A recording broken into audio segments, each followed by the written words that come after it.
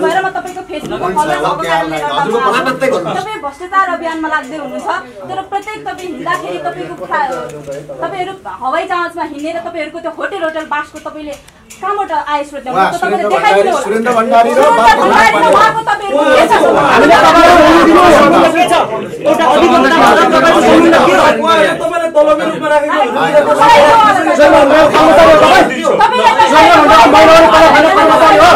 तपाईँबाटै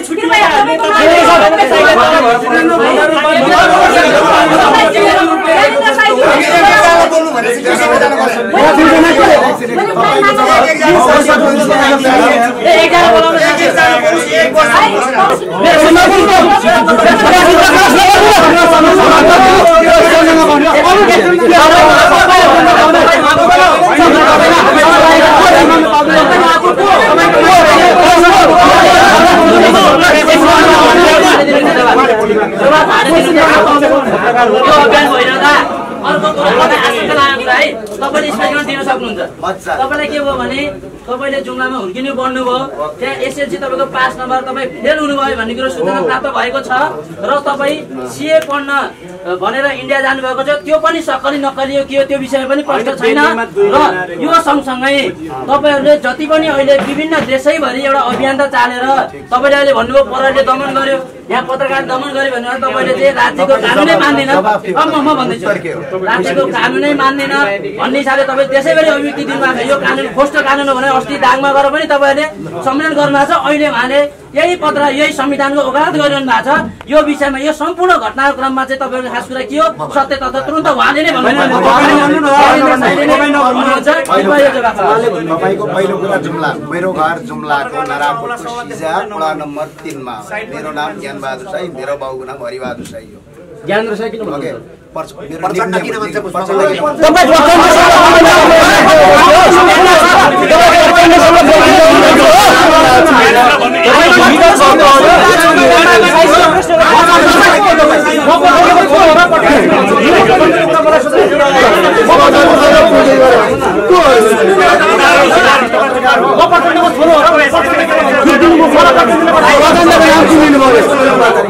तपाईँले हिजो व्यक्तिको नाममा कलङ्क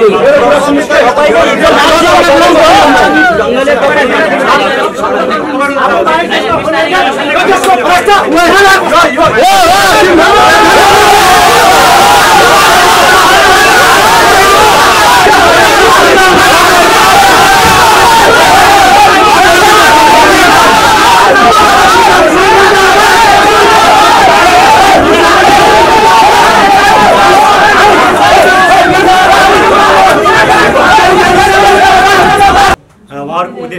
झगडा गर्ने ज्ञानेन्द्र साईमाथि हतपात गर्ने र यो जुन विद्यार्थीहरू उहाँहरूले भन्नुभएको छ उहाँहरू कुन सङ्गठनको विद्यार्थी हो? त्यो कुरा उहाँहरूले प्रश्न पार्नुपर्छ यसको जिम्मेवारी चाहिँ सरकारले लिनुपर्छ। अहिले हामी यति मात्रै बोल्छौँ यो विषयमा र हामी छिटै यो विषयमा विस्तृत रूपमा बोल्नेछौँ र यसको जिम्मेवारी सरकार चाहिँ यो हिजो योगेश भट्टराईको विषयमा जुन प्लेनमा घटना घट्यो मलाई लाग्छ त्यो घटनासँग सम्बन्धित यो विषय छ। ज्ञानेन्द्र साईलाई आज बिहान पनि केही फोनहरू आएका छन् र थ्रेट गर्ने किसिमले हामी तिमीलाई मार्छौँ भन्ने किसिमका फोनहरू आएका छन् भन्न मलाई ज्ञानेन्द्र साईजीले भन्नुभएको छ र अहिले जुन किसिमको यो घटना भएर उहाँमाथि हातपात भएको छ यो दुर्भाग्यपूर्ण छ र हामी यसको घोर भर्सना गर्दछौँ र सरकारले यसको जिम्मेवारी लिनुपर्छ आधिकारिक मान्छे होइन सर आधिकारिक मान्छे सुरक्षाकै लागि आएको उहाँलाई सुरक्षाकै लागि मैले सब पत्रकार सम्मेलनभन्दा अगाडि मैले जानकारी गराउन खोजेँ तर उहाँले चाहिँ सुन्नै मान्नु भएन हाम्रो तपाईँहरू तपाईँहरू भित्र आएर चाहिँ कार्यक्रम बिताउनु सर अब अब प्रहरीले कस्तो तपाईँहरू यो सम्बन्धी केही सम्बन्धित हाम्रो जिल्लाको जाउलाखेल महानगरी परिषद जाउलाखेलमा गएर हाम्रो प्रवक्ता सर हुनुहुन्छ प्रवक्ता सरसँग घटनास्थलमा म मण्डली माथिल्लो कमान्डर डेस साहब हुनुहुन्छ डेस। फिल्डमा को थियो? डेस्पी साहब हुनुहुन्थ्यो प्रवक्ता हुनुहुन्थ्यो अहिले? उहाँ हुनुहुन्थ्यो। त्यही भएर तपाईँलाई चोट लागेको छ के भयो भनेर मात्र भन्नु होइन चोट त अब यो तपाईँको हातमा लागेको छ कि मित्रहरूलाई फेरि हामी स्वागत गर्छौँ। अ, केही समय अगाडि तपाईँहरूकै सामान्यबाट ज्ञानेन्द्र साईमाथि हातपात गर्दै ज्ञानेन्द्र साईलाई यो कार्यालयबाट जबरजस्त रूपमा लगिएको छ। कसले लग्यो कहाँ लग्यो किन लग्यो भन्ने कुराको हामीलाई जानकारी छैन। ज्ञानेन्द्र साई अहिले असुरक्षित हुनुहुन्छ। र केही विद्यार्थी भन्ने व्यक्तिहरू यहाँ आउनुभयो र तपाईँहरूकै सामान्यमा हामी विद्यार्थी हौँ भनेर विभिन्न किसिमका प्रश्न सोध्नुभयो र प्रश्न सोध्ने भन्दा पनि उहाँहरू जबरजस्त रूपमा बल प्रयोग गर्ने किसिमले तपाईँहरूले देखिरहनु भएको छ यही टेबल अगाडि सार्दै ज्ञानेन्द्र साई मलगायतका व्यक्तिहरूलाई पनि उहाँहरूले धकेल्नुभयो र यो टेबलले अ, खिच्ने प्रयास गर्नुभयो तर हामी त्यहाँबाट अगाडि गयौँ र ज्ञानेन्द्र साईलाई तान्दै उनीहरूले बाहिर लिएर गए र बाहिर लिएर गएपछि ज्ञानेन्द्र साईलाई अहिले कहाँ लगेको छ एउटा भिड थियो त्यो भिडले कहाँ लगेको छ हामीलाई थाहा छैन। अब यो घटना किन घट्यो भन्दाखेरि हिजो माननीय मन्त्री योगेश भट्टराई नेपालगञ्जबाट काठमाडौँ आउने क्रममा नेपालगञ्जमा एक घन्टा प्लेन रोकियो र त्यो प्लेन रोकिएको सन्दर्भमा त्यहाँ भएका यात्रुहरूले नै विमानबाट उत्रिएर त्यसको विरोध स्वरूप किन यो ढिलाइ गरियो भनेर त्यो प्लेन कम्पनीलाई उहाँहरूले सोध्नुभयो। त्यही बेला मन्त्रीजी आइपुग्नुभयो र मन्त्रीज्यू आइपुग्दाखेरि तपाईँले किन हामीलाई यसरी रोक्नुभयो? तपाईँलाई प्लेन रोक्ने अधिकार के छ भनेर उहाँले शिष्टतापूर्वक प्रश्न सोध्नु भएको छ र त्यो विषयलाई लिएर ज्ञानेन्द्र साईमाथि विभिन्न फोन कल आएका छन्। उहाँलाई ज्यान मार्ने धम्की पनि आएका छन् र आज हामीले यिनै विषयलाई लिएर पत्रकार सम्मेलन गर्ने भनेर एक बजे हामीले यहाँहरूलाई बोलाएका थियौँ र यहाँहरू समक्ष जे जे भएको छ प्रत्यक्ष रूपमा यहाँले देख्नु भएको छ र त्यसलाई मैले छोटकरीमा भन्दाखेरि केही विद्यार्थी आफूलाई भन्नेहरू र बलजफ्ती रूपमा र अभद्र किसिमले व्यवहार गर्ने प्रश्न सोध्ने र प्रश्न पनि कस्तो थियो भने तपाईँको नाम ज्ञानबहादुर साई तपाईँ किन आफूलाई ज्ञानेन्द्र भन्नुहुन्छ भन्ने जस्ता प्रश्न गर्ने जुन प्रश्नको कुनै औचित्यता नै छैन। यस्ता किसिमका प्रश्न गरेर नियतवश रूपमा यो पत्रकार सम्मेलन भानेर ज्ञानेन्द्र साईमाथि हातपात गर्ने जुन व्यवहार भएको छ जुन काम भएको छ यो निश्चित रूपमा राज्यबाट भएको छ। अहिले सत्तामा बस्ने सत्ताबाट भएको छ र यसको जिम्मेवारी कुनै न कुनै रूपमा यो योगेश भट्टराईजीसँग जोडिन्छ। किनकि त्यही प्रकरणबाट यो आएको छ। त्यसले गर्दाखेरि हामी अहिले तिनवटा कुराहरू यहाँ स्पष्ट रूपमा निवेदन गर्न चाहन्छौँ। पहिला यो घटनाको जिम्मेवारी राज्यले लिनुपर्छ र यो घटनाले राज्य आतङ्क र राज्य गुन्डागर्दीको एउटा नाङ्गो नमुना र चरित्रलाई स्पष्ट पार्दछ र हामी यस किसिमका घटनाहरूको घोर भर्सना गर्दछौँ र सिङ्गो नेपाली नागरिकहरूलाई यस्ता घटनाहरूको विरुद्धमा उभिनको लागि र नेपालका लागि नेपालीलाई साथ दिनको लागि हामी हार्दिक रूपमा अनुरोध गर्दछौँ। पहिलो दोस्रो हामी खड्गप्रसाद ओलीको सरकारलाई हामी हार्दिक रूपमा अनुरोध गर्दछौँ ज्ञानेन्द्र साई कहाँ हुनुहुन्छ? उहाँलाई यो कार्यालयमा तत्कालै सुरक्षित रूपमा ल्याएर बुझाइयोस्। र यदि सरकारले यो काम गर्दैन ज्ञानेन्द्र साईलाई अपहरण गरिन्छ उहाँको ज्यान माथि खेलबाड गरिन्छ र उहाँको लागि कुनै पनि किसिमको नराम्रो काम गरिन्छ भने त्यो सम्पूर्ण कुराहरूको लागि हामी सहन सक्छौँ र नेपाली नागरिकहरूलाई हामी आह्वान गर्न सक्छौँ।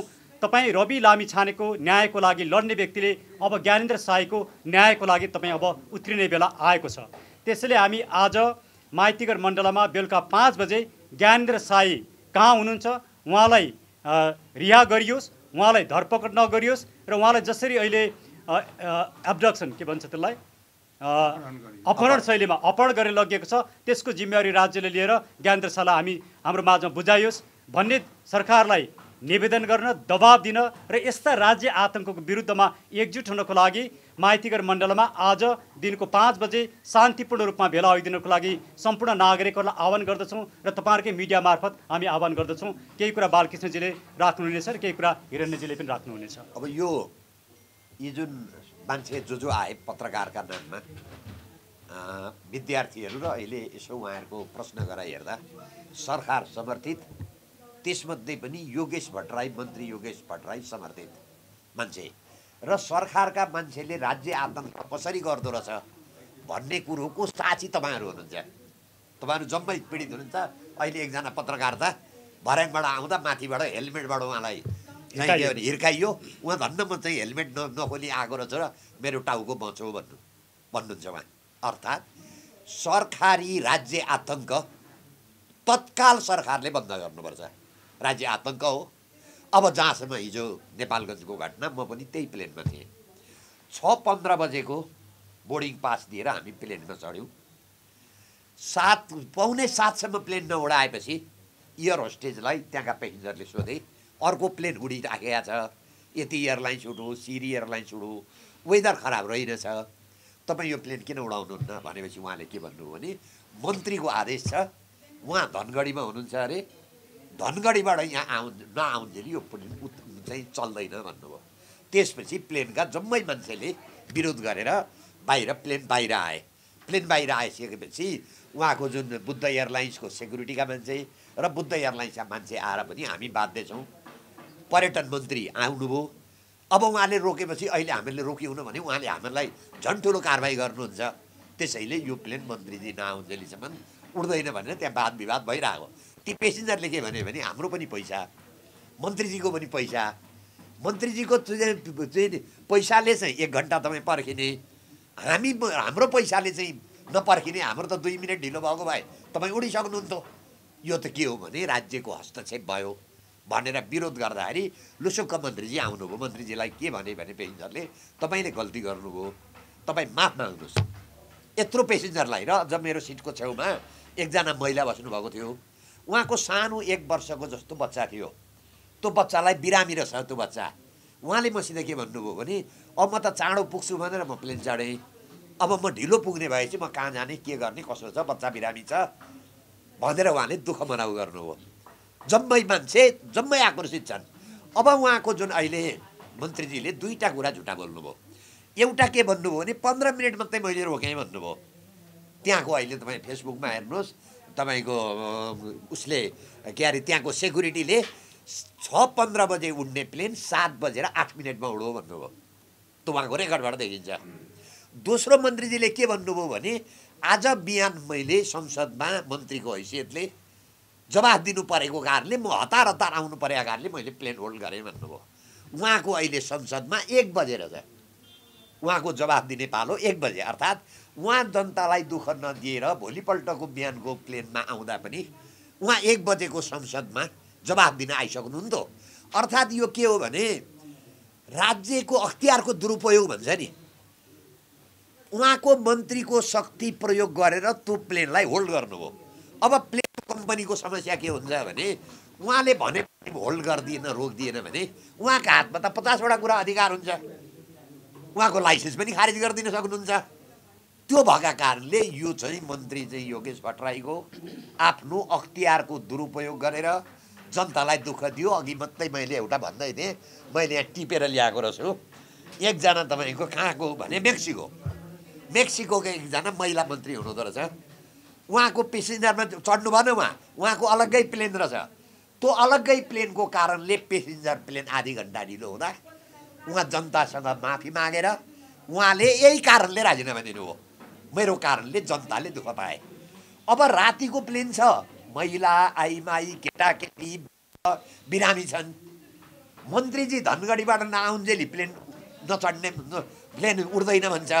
यस्तो अवस्थामा र अर्को एउटा के हो भने उहाँहरूले आफ्नो अधिकारको दुरुपयोग गरेर एनएसीलाई डुबाउनु भयो अब यही यही प्रयोग गरेर उहाँको प्राइभेटको कम्पनीलाई पनि डुबाउनु हुँदैछ। त्यहाँ एक घन्टा त प्लेन होल्ड भयो। त्यो एक घन्टामा त अर्को कुनै एउटा सेक्टरमा उहाँले उडान गर्नुहुन्थ्यो। पचास साठी मान्छेलाई के गर्नुहुन्थ्यो भने उहाँ सुविधा दिनुहुन्थ्यो। यहाँ उड्न नपाएर मान्छेले दुःख पायो।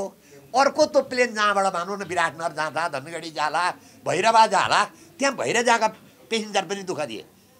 त्यो भएको कारणले पहिलो एयरलाइन्सलाई पनि नोक्सानी भयो। एक घन्टा ऊ बिना काम बस्नु पऱ्यो सरकारले जुन आर यो चाहिँ बुद्ध एयरलाइन्स भनौँ न एक पैसा कर छोड्दैन नि। तर मन्त्रीको आदेशले एक घन्टा ऊ एक घन्टा उडेको भए साठीजना मान्छे तपाईँको छ हजारका दरले लियो भने छ पञ्चे तिस तिन लाख रुपियाँ उसले कमाउँदो त्यो तिन लाख रुपियाँ त बुद्ध एयरलाइन्सको नोक्सान भयो। जनताले दुःख पाए त्यो प्लेनमा बस्नेले मात्रै दुःख पाएन। अर्को काहीँ सेक्टर त्यो प्लेन गएपछि फेरि उड्ने आउने मान्छे थियो नि त्यसले पनि दुःख पायो। र अहिले मैले सुन्दैछु एयरपोर्टमा छिर्न जम्मा पाँचजना मान्छेलाई मात्रै अख्तियार दिने पाँचजना मान्छे बाहेकको गाडी त एयरपोर्टमा छिर्दैन भन्ने एउटा निर्णय देखिन्छ। म त्यही प्लेनमा आउँदा त्यो पाँचजनाभित्र योगेश भट्टराई पर्नुहुन्न। तर उहाँ हतार हतार चाहिँ उहाँको चाहिँ गाडी चाहिँ प्लेनको छेउमा आएर उहाँ लुसुक्क पहिले भाग्नु हो। अरू हामी चाहिँ जम्मै बस चढेर आयौँ। उहाँकै निर्णयमा के देखिन्छ भने एयरपोर्टभित्र गाडी लिएर भने जम्मा छजना मान्छे अख्तियारवाला। राष्ट्रपति उपराष्ट्रपति प्रधान न्यायाधीश प्रधानमन्त्री सेनाको प्रमुख को को उहाँले तोकेका छ त्यसभित्र उहाँ पर्नुहुन्न। त्यहाँ पनि उहाँले अख्तियारको दुरुपयोग गर्नुभयो। यही हो अहिले भ्रष्टाचार भनेको पैसा खानु मात्रै भ्रष्टाचार होइन। अख्तियारको दुरुपयोग गरेर अरू मान्छेलाई दुःख दिन्छ भने त्यो पनि भ्रष्टाचार हो। उहाँलाई त के हो भने उहाँले दुईवटा अख्तियारको दुरुपयोग गर्नु एउटा आफ्नो मन्त्रीको अधिकार प्रयोग गरेर एक घन्टा प्लेन होल्ड गरिदिनु भयो त्यो पनि अख्तियारको दुरुपयोग हो। अर्को कुरो काठमाडौँमा आइसकेपछि उहाँको पनि गाडी एयरपोर्टमा छिर्न पाउँदैन नियमले। उहाँ त्यो सुविधा अन्तर्गत पाउनुहुन्न तर उहाँको गाडी प्लेनसम्म आयो। हामी उत्रिँदा नउत्रिँदा उहाँको प्लेन उहाँको गाडी हिँडिसकेको थियो। यस्तो गर्दाखेरि यो लोकतन्त्र होइन। लोक भनेको त जनताको सुविधा हुनुपर्छ। संसारका अस्ट्रेलियामा सुन्नुभयो नि तपाईँले। यही प्लेन काण्डमा मन्त्रीले राजीनामा दिए। अघि मैले निवेदन गरेँ मेक्सिकोमा को वातावरण मन्त्री। तिनले पनि राजीनामा दिए। यहाँ भयो के त? योभन्दा अगाडिको घटना मलाई थाहा छ। जतिखेर प्रधानमन्त्री काठमाडौँ आउनु हुँदै थियो म एक घन्टा प्लेनमा रोकिएको छु। दस बजेको फ्लाइट म एक बजे त्यो रोकिनेमा सायद रविन्द्र मिश्र पनि पर्नुभयो उहाँको पनि काम मैले उहाँको भनाइदिएँ थिएँ। यस्तो अवस्था हामीहरूले यसैका लागि चालेको हो। यसैका लागि सत्र हजार मान्छे मरेका हुन्। यसैका लागि हाम्रो खरबौँको संरचना ध्वस्त भएको। हामीले राम्रो गरिदिया भए त जय भनिहाल्थ्यौँ नि हामी। राम्रो गरिदिनुहोस्। सिक्किम के अरे काश्मीरको चाहिँ तपाईँको फिलिपिन्स बनाइदिनुहोस् सिङ्गापुर बनाइदिनुहोस् त्यो बनाइदिने नेताको फोटो हामी राखिहाल्छौँ नि। तर भन्ने एउटा गर्ने एउटा भएकाहरूले भ्रष्टाचार बाहेक केही नगर्ने अख्तियारको दुरुपयोग बाहेक केही पनि नगर्ने जनतालाई दुःख दिने र जनताका अगाडि बसेर माफी नमाग्ने फेसबुकबाट माफी माग्ने। त्यति थियो भने समस्या समाधान हुन्थ्यो। ल नेपाली दाजुभाइ दिदीबहिनी मैले तपाईँको एक घन्टा समय खर्च गरेँ मेरो पनि बात मलाई माफ गरिदिनुहोस् भन्ने आफै पुगिहाल्छ नि। त्यहाँ नभन्ने फेसबुकबाट भन्ने। यो चाहिँ के हो भने यो लोकतान्त्रिक चाहिँ आचरण होइन। लोकतन्त्र भनेर लोकतन्त्र हुँदैन। लोकतन्त्रका लागि लोकतान्त्रिक आचरण गर्नुपर्छ। अहिले उहाँहरूलाई के छ भने दुई तिहाईको दम्म छ। त्यही दुई तिहाईको दम्म अन्तर्गत अहिले सरकार पालित भन्छु म। र शब्दमा प्रयोग गर्छु प्रधानमन्त्रीले प्रयोग गरेको। अहिले ज्ञानेन्द्र साईलाई सरकारी अधिकारले यहाँबाट कुटपिट गर्दै लछार पछार गर्दै लगे र यसको सम्पूर्ण जिम्मेवारी यो सरकारले लिनुपर्छ। ज्ञानेन्द्र साईलाई योभन्दा अगाडि सुर्खेतमा खुट्टा भाँचियो अहिले सबभन्दा बढी सरकार डराइराखेको छ ज्ञानेन्द्र साईसँग। यो चाहिँ रवि लामी छानेसँग डराएको थियो। एउटा नक्कली मुद्दालाई हालेर उहाँलाई दुःख दियो। अब त्यो दुःखको पालो अब फेरि ज्ञानेन्द्र साईलाई गरे। त्यस्ता दुःख अरूलाई पनि पर्न सक्छ त्यसैले मेरो अनुरोध गराई यसका लागि जबसम्म हामी नेपाली जाग्दैनौँ यो अवस्थाको समस्याको समाधान निस्किँदैन। त्यसका लागि पाँच बजे माइतीघर मण्डलामा ज्ञानेन्द्र साईलाई सकुशल रिहाइका लागि जसरी लबी छा लामी छानेका लागि नेपाली दाजुभाइ निस्के न्यायका लागि निस्के ज्ञानेन्द्र साईले जरफपुरमा केही गलत भनेको छैन भन्न नपाउने आफ्ना प्रतिनिधिलाई ती प्रतिनिधि हाम्रा करको ट्याक्स हामीहरूले रगत र पसिना तिरेका करको ट्याक्सबाट तलब खाने मान्छेलाई हामीहरूले प्रश्न गर्न नपाउने। किन एक घन्टा प्लेन तपाईँले होल्ड गर्नुभयो हामीहरूलाई चाहिँ सोध्दै नसोध्ने यो प्रश्न के हो भने बुद्ध एयरलाइन्सको पनि हो तर उहाँको बाध्यता म बुझ्छु। केही नगर्दा त ज्ञानेन्द्र साईलाई यसरी चाहिँ लछार पछार गरेर कुटेर लान्छन्। मन्त्रीको आदेश बमोजिम चाहिँ प्लेन नरहुने हो भने त प्लेनको त लाइसेन्स नै खारिज हुन्छ। यो चाहिँ के हो भने शुद्ध अख्तियारको दुरुपयोग हो। अख्तियार दुरुपयोग भन्ने अड्डा यो देशमा छ भने मन्त्रीले अख्तियारको दुरुपयोग गरेर एक घन्टा प्लेन रोकेर जनतालाई दुःख दिएको कारणले उहाँले कारवाही गर्नुपर्छ। भन्दै धन्यवाद। बिदा हुन्छु धन्यवाद। हिरणजी। भर्खरै तपाईँले यो आधा घन्टा पनि भएको छैन। यो राज्यबाट सञ्चालित राज्यको आतङ्क देखिहाल्नुभयो। तपाईँहरूकै प्रशा यो पत्रकारहरूको वेशभूषामा यस्तै क्यामेरा बोकेका र कोही चाहिँ नि केही केही प्रतिनिधिहरू चाहिँ नि विद्यार्थी भन्न रुचाउनेहरूले यस्तो किसिमको राज्य आतङ्क देखाए र हाम्रा एउटा जुझारु अभियन्ता ज्ञानेन्द्र साईलाई विभिन्न भए नभएको लान्छना लगाएर र यस यहाँबाट चाहिँ नि हातले हातपात गरेर र लछार पछार गरेर यहाँबाट चाहिँ जसरी लगियो अब यो चाहिँ नाङ्गो नाच तपाईँले देख्नुभयो यही हो लोकतन्त्र। यही हो प्रजातन्त्र। यसलाई त म चाहिँ के भन्न चाहन्छु भने यो त छेपारो यो गणतन्त्र रहेछ। यसले रङ फेर्दो रहेछ र राज्यले जे पनि गर्न पाउने अनि सबै कुरा चाहिँ सार्वभौम सत्ता सम्पन्न जनता भन्ने सार्वभौम सत्ता सम्पन्न जनताले एउटा मन्त्रीलाई प्रश्न पनि गर्न नपाउने र उहाँले आफ्नो अख्तियारको जुन दुरुपयोग गरिरहँदा तपाईँले यो के गर्नुभयो? आम जनतालाई किन चाहिँ आहत गर्नुभएको? यस्तो राति पनि यो यो प्लेनलाई यसरी ढिला गर्नुहुन्छ। हजुरले भोलि पनि आ आउन सक्नुहुन्छ भनेर भन्दाखेरिमा एउटा जवाब पनि नदिने। अचानक त्यसैको भोलिपल्ट दिनमा एउटा जुझारु एउटा जनप्रतिनिधिलाई अहिले जनतालाई चाहिँ हरेक ठाउँ ठाउँमा गएर यो नेपालमा कस्तो किसिमको भ्रष्टाचार मौलाइरहेछन् यो देशको अस्तित्व अब बस्ने हो कि होइन तपाईँलाई एउटा कुरा भन्छु अब अर्को दस बाह्र लाख विदेशी नागरिकता फेरि बाँधियो भने हामी अब समस्त नेपाली अल्पमतमा पर्नेछौँ। भोलिको दिनमा यो देश सिक्किमीकरण हुन्न भनेर कसले भन्न सक्छ? यसैको विरोधमा यो जथाभावी नागरिकता दिने किन देश हाम्रो धेरै सानो छ पाउने तिन करोडमा अर्को पन्ध्र बिस लाख थपेपछि यो देशमा हामी अल्पमतमा पर्छौँ। अनि बिस्तारै यो देश के जान्छ? सिक्किमकरण हुन जान सक्छ फिजिकरण हुन्छ। त्यस कारण यसैको खबरदारी गर्दा र चरम भ्रष्टाचार चुलिएको छ। र तपाईँ हामी आफैले विश्वास विचार गर्नुहोस्। आजभन्दा छ वर्ष अगाडि एक कप चियाको पाँच रुपियाँ पर्थ्यो। तपाईँको बुवाले सेपभित्र सय रुपियाँ दाम राख्नु भएको थियो। बिस कप चिया आउँथ्यो। आज त्यो चाहिँ जम्मा चार कप मात्र आउँछ। यो भने मतलब तपाईँको यो एक लाख रुपियाँ के अरे सय रुपियाँ चाहिँ तपाईँको कहाँनिर गयो भन्दा कसैले चाहिँ लुटेर लग्यो। यसैको विरुद्धमा राज्य आतङ्क भयो।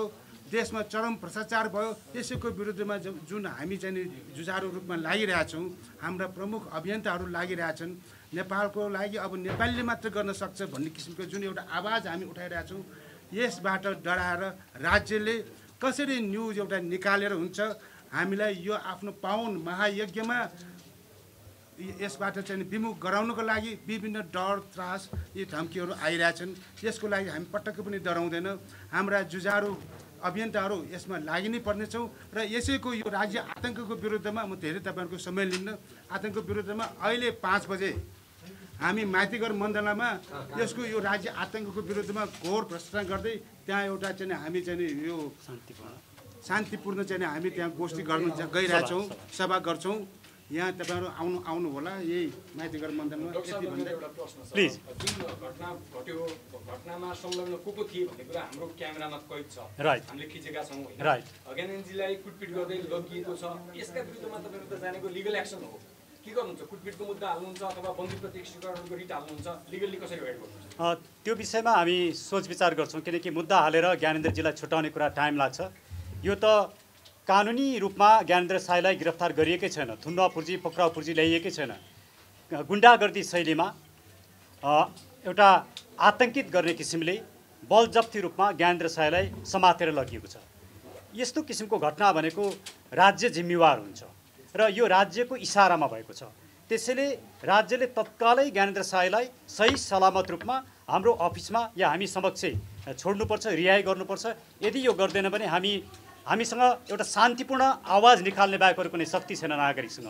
त्यसैले म सम्पूर्ण नेपाली नागरिकहरूलाई तपाईँहरूको मिडिया मार्फत के अनुरोध गर्छु भने ज्ञानेन्द्र साईलाई सकुशल राज्यले जसरी अहिले एब्डक्सन गरिएको छ अपहरण शैलीमा लगिएको छ त्यसबाट छुटकारा दिलाएर सुरक्षित रूपमा ल्याओस् भन्ने माग गर्नका लागि ज्ञानेन्द्र साईको न्यायका लागि माइतीगर मण्डलमा पाँच बजी उपस्थित भइदिनु लागि म हार्दिक अनुरोध गर्दछु। यसको विषयमा कानुनी लडाइँ लड्ने या नलड्ने भन्ने विषयमा हामी पछि यहाँलाई जानकारी गराउँछौँ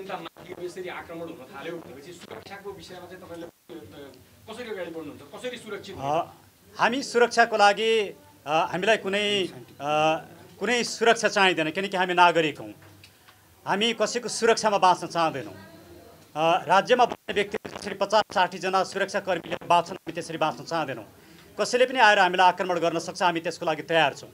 किनकि हामीले उठाएको आवाज मुलुक र नागरिकको लागि यो आवाज उठाउँदाखेरि हामीले आफ्नो ज्यानको बाजी लगाउनुपर्छ भने हामी त्यसको लागि तयार छौँ। हामी सुरक्षा लगाएर या हाम्रो अघिपछि मान्छे लगाएर हामी हिँड्ने पक्षमा छैनौँ। र हामी एउटा नागरिकको भोइस लिएर हिँड्छौँ स्वतन्त्रतापूर्वक हिँड्छौँ र स्वतन्त्र नागरिकको आवाजलाई राज्यले रक्षा गर्नुपर्छ र हाम्रो सुरक्षाको जिम्मा राज्यले लिनुपर्छ र हामी असुरक्षित भयौँ भने नेपाली नागरिकहरूले राज्यलाई खबरदारी गर्नेछन् भन्ने क्रममा हामी विश्वस्त छौँ। हामी तपाईँहरूले बोलाएर आएको पत्रकार सम्मेलन यहाँहरूमाथि पनि असुरक्षा भयो हामी दुःखी छौँ। हामी क्षमा माग्छौँ? हामी क्षमा माग्छौँ। हाम्रो अफिसमा यहाँहरूमाथि हातपात भएको छ। त्यसको लागि हामी पनि जिम्मेवार छौँ। तर हाम्रो तर्फबाट हातपात नभएको र राज्यद्वारा सञ्चालित व्यक्तिहरूबाट हातपात भएको कारणले गर्दाखेरि राज्यले तपाईँहरू जस्तो निष्ठावान पत्रकारहरूमाथि मिडियामाथि जुन किसिमको आक्रमण भयो आज वास्तवमा ज्ञानेन्द्र साईमाथि मात्रै आक्रमण भएन। नेपालका लागि नेपालीमाथि मात्रै आक्रमण भएन। मिडियामाथि आक्रमण भएको छ। यसको लागि माफी माग्नै पर्छ। र योगेश भट्टराईजीले स्पेसल्ली माफी माग्नुपर्छ या अब हुनसक्छ नागरिकहरूले योगेश भट्टराईको राजीनामाको मागसम्म उठाउन सक्नेछन्। यो विषयमा हामी फेरि तपाईँहरूसँग संवाद गर्नेछौँ। आजको लागि म यहाँहरूलाई धेरै धेरै धन्यवाद दिन चाहन्छु। यहाँले जुन क्यामेरामा जति पनि कुराहरू कैद गर्नुभएको छ यसलाई प्रसारण गरिदिनुहोस् यसलाई सार्वजनिक गरिदिनुहोस्। यिनै तथ्यहरू र यिनै तथ्यहरूका आधारमा नेपाली नागरिकले सम्पूर्ण घटनालाई देश विदेशमा बसेका नागरिकले बुझ्न पाउनुपर्दछ। धन्यवाद। हो होइन? अ, जुन किसिमले विद्यार्थी भनेर आउनुभयो र जुन किसिमले यहाँ नै बल प्रयोग गर्नु हा यो टेबल धकेल्नुभयो हामीलाई नै किच्न खोज्नुभयो र उहाँहरूले जस जुन किसिमले आक्रमक शैलीमा प्रश्न गरिरहनु थियो यसले के देखिन्छ भने उहाँहरू नेकपा सञ्चालित विद्यार्थीहरू हो। र योगेश भट्टराईसँग उहाँहरू सम्बन्धित हुनुहुन्छ। भन्ने कुरा देखिन्छ।